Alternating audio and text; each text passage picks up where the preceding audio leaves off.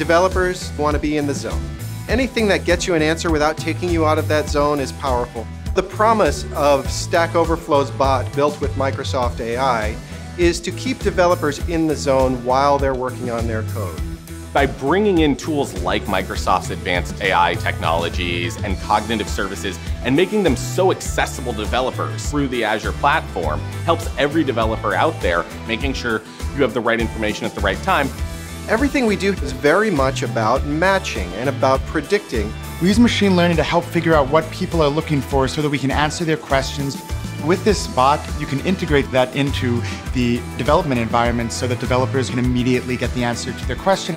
By making these tools readily available through Azure Machine Learning, I think that Microsoft is doing the data science community a great service.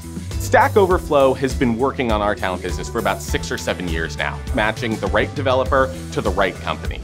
With tools like advanced AI capabilities, we can take our matching to the next level. It's all about helping developers get things done faster. Stack Overflow is only as good as our community makes it. We build the tools, but the community is contributing all the intelligence. We couldn't do it without the community.